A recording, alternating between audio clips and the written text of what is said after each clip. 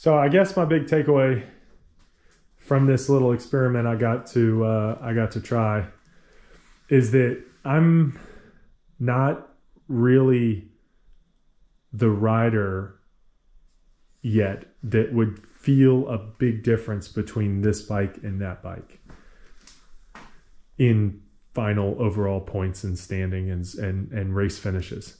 I think that there are obviously guys that are good enough that you know if you put them on this bike they would not finish anywhere close to where they would finish on that just because this type of a bike holds them back. The older bike you know the modern technology is better. So but i'm not that guy. I'm a middle of the class c guy.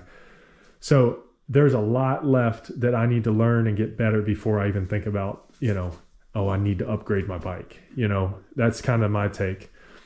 The second point is that i race in virginia and this hare scramble series and a lot of the races that i do they are like very technical ish mountain stuff, side hill off camber, you know, creek bottom stuff, like like slower technical stuff. I mean, we race in the mountains a decent amount, probably about half of the season schedule is like mountain tracks.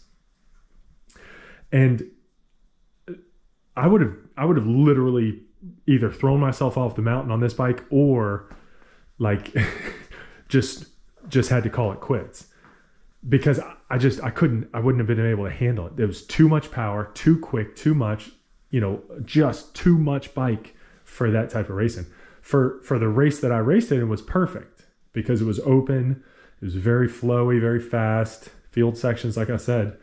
I mean, it was a, it was 10 mile laps and we did them in 30 35 minutes. So that kind of tells you how fast it was.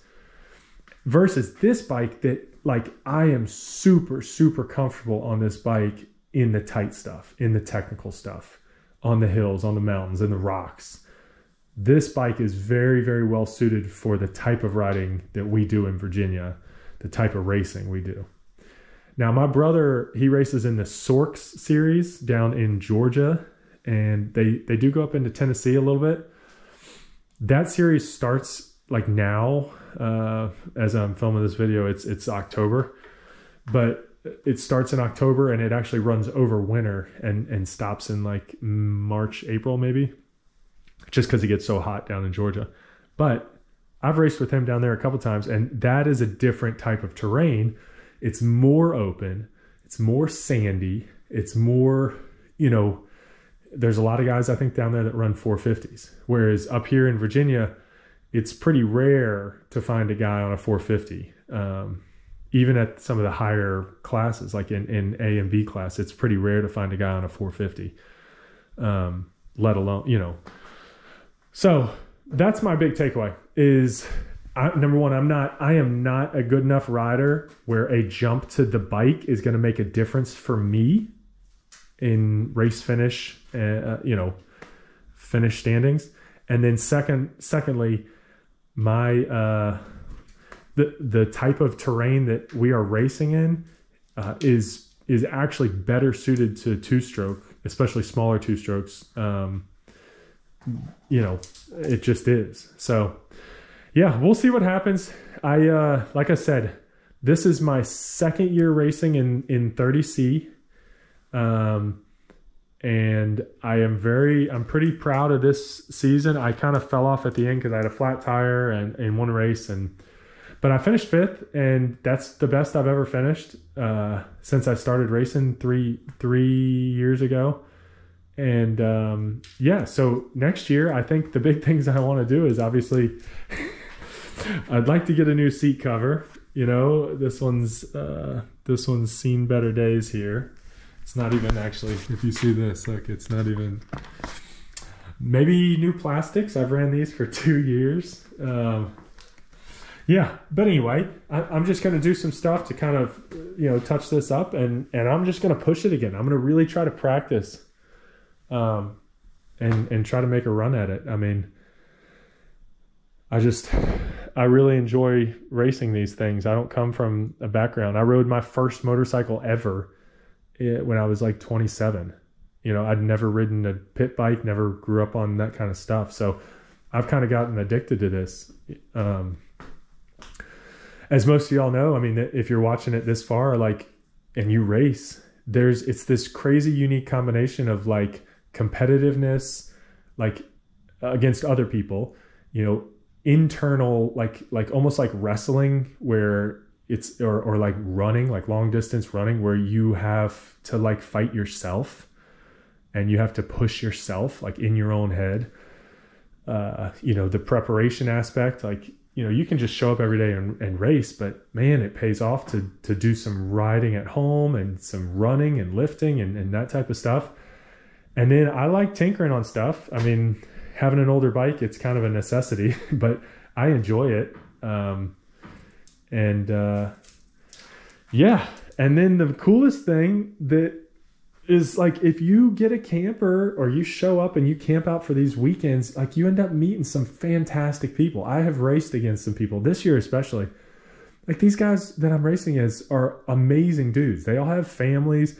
They all have other stuff in their life going on. They all like work. We all work full time, and it's just it has been so amazing to to race with these guys. Kind of see them every weekend, every other weekend, multiple times a year, and then get to camp out with their families and their kids and just get to enjoy uh, doing something together that that we all enjoy. I mean, it's it's kind of rare that you do that. There's not a lot of stuff as an adult that you get to you get to have that kind of connection and and uh, continuity with people. So it's been fun. I'm uh, my wife is on board. My kid loves motorcycles more than anything. He loves motorcycles and helmets for some reason. He loves to put a helmet on.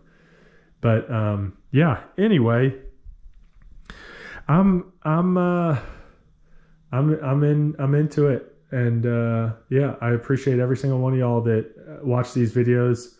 It's fun. It's fun fun fun to watch and race and try to see yourself and try to uh you know, see where you stack up and it's just been a blast. So, if you ever see me out at, at any of these races, um just come say hi. My name's Zach you know, I'm probably the tallest guy out there. I look like an idiot on this bike. I'm way too big for it. But uh, yeah, come say hi. I, would love to meet you and and talk about anything at all. I mean, yeah, it's been fun. So uh, we have banquets coming up, and then the next season starts in March. So I'm gonna try to ride a decent amount this winter. Um, and uh, yeah and not have to start from scratch when next season starts. I think that's the big one that I've learned is this season I didn't ride at all or sorry, last winter I didn't ride at all. So this season I kind of had to start from scratch and spin up trying to catch up with everybody else. So I'm not going to do that.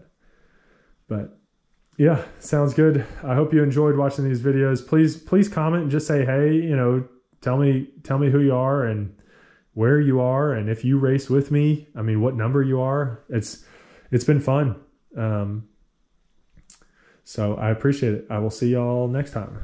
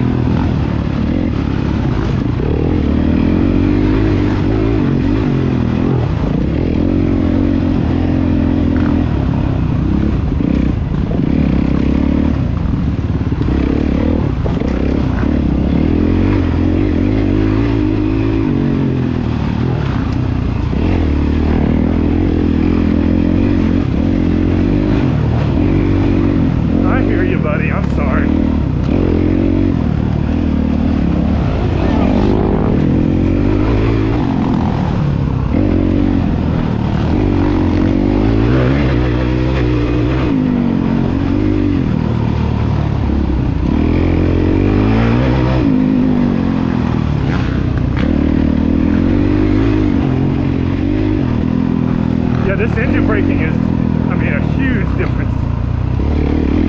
It's like throwing me forward on the bike.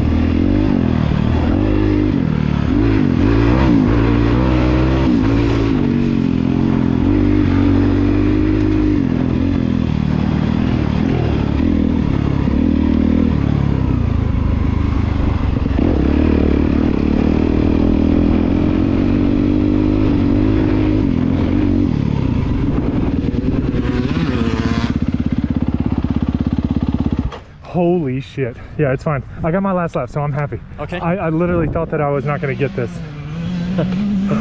Dude, I have had arm pump the entire time. No shit. Yes, it is absolutely ridiculous. Pretty bad, huh? Yes, this thing is way too much for me. Really? That's fine, that's fine. All right, man, get it in. I'm very glad. I, th I thought I was going to get caught for sure. No shit. by the leaders. Good lord, man. It's embarrassing. It's not your bike. I know, but it's like, What are you gonna do? Gotta have fun. yeah. No, I am now. Now that I know I got this one. All right, brother. Thank you. I appreciate it.